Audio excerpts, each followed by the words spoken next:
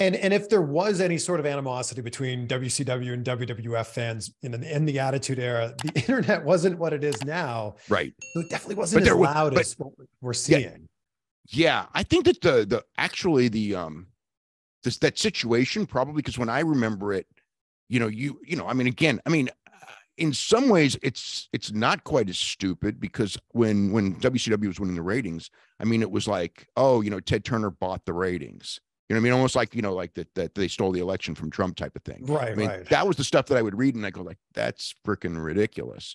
now, like with the WCW, with the AEW and W, I don't hear people say like, oh, you know, they're they're buying ratings. I mean, I I have heard like this the thing, oh, Tony Khan buys all the tickets and gives them all away, you know, and and that was you know, even from WWE wrestlers at first, when they first had their first, um, when AEW first had their lines of success and they were doing really, really well coming out of the coming out of the gate, you know, they mm-hmm. would say that. And it's like, look, if, if there were tons of freebies, no, we would find out about it immediately because one of the things with is people will tell you, hey, there's all these freebies out there right now, you know. Mm. So it's like that kind of stuff. Um, it's it's um, you know, but people are gonna say it like like people are gonna say that because they're gonna be on on you know, yeah, the tribalism is is Oh, the tribalism, Dave. It's so bad. It's so bad. It's it's so bad. I know. I know. Yeah. Like I I don't know why we can't all just agree that hey, we are wrestling fans. We enjoy watching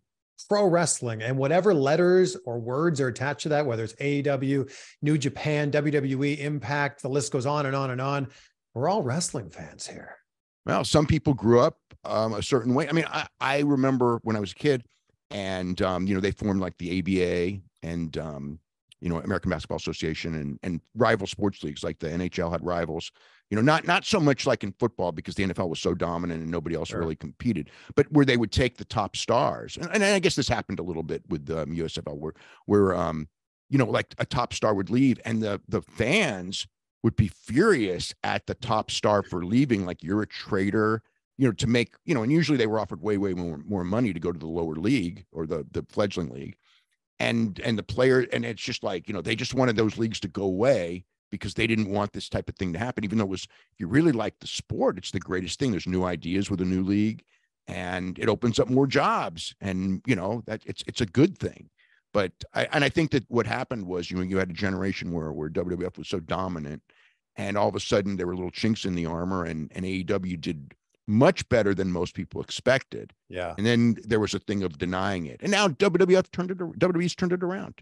And more yeah. power to them for doing it. I mean, you know, I, I mean, I never had any issues with somebody doing well, you know. Yeah. And I mean, I mean, it's it was funny because the most stuff, the most negative stuff that I would get every week, and I was not the only one, is when you list the ratings and if um, when AEW was doing good, it was really toxic, you know, from people trying. And now where AEW still doing good, but it's not doing what it was.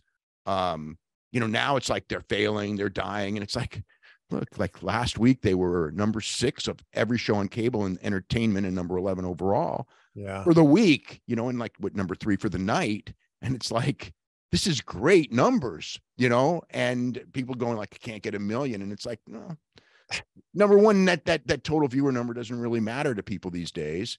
And even if it did, I mean, the number of households that get cable is so far down. Like I told people, oh. like, a million people when AEW started would be 780,000 today because of the loss of the homes. And mm-hmm. they beat 780. And even if they didn't, whatever place you're in, you know what I mean? This number, you know, as cable dwindles, you know, as more and more people don't get cable because they're watching other things, whether it's Netflix or whatever, you know, the um, you know, the the numbers will dwindle. WWE's gone up, which is incredible yeah. in this time frame. And that's the thing. If if WWE had stayed even, that's a big plus because everybody else is going down 20%, which is which is scary because then what happens 10 years from now with all these declines? And um, you know, with the money, you know, then that that is the one scary thing is but that there'll be money from somewhere else. You know, I mean, like there'll be money from streaming companies that are looking to get a foothold and AEW is a good one and WWE is a great one for for you know any company because you got a built-in audience.